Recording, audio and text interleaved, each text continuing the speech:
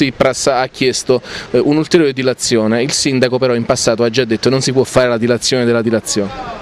Allora eh, voglio dire ai miei colleghi politici che quando si fanno le proposte innanzitutto si deve vedere se legalmente queste proposte possono essere praticabili. Anche noi abbiamo interesse che i cittadini non vengano eh, sopraffatti dalle tasse, però voglio ricordare a questi colleghi che in virtù di un regolamento comunale fatto nel 2013 dalla precedente amministrazione si è disposto una dilazione di un acconto con un saldo. Siccome in base alla legge e al regolamento che è stato approvato approvata dal Consiglio Comunale non si può fare una dilazione di un saldo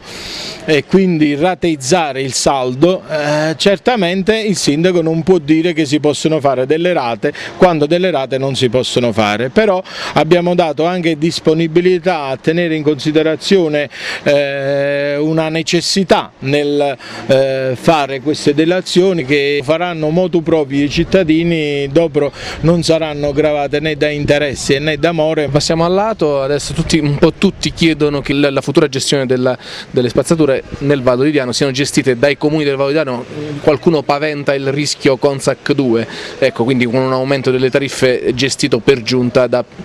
enti esterni al Valdiano. Lei qual è la sua posizione e qual è la posizione dell'amministrazione di Sala? È inutile che facciamo speculazioni politiche, la verità è che l'ATO è una legge regionale dove si stabilisce che eh, prima si costituisce l'ambito territoriale omogeneo approvando uno schema di convenzione che è stato approvato dal Consiglio regionale ed è legge regionale, dopo si inizia a discutere dei sottoambiti. È un discorso politico talmente grande che i nuovi politici di turno non possono risolvere convocando i sindaci del Vallo di Diano che già sono impotenti rispetto a 166 comuni, credo di essere stato chiaro. Grazie.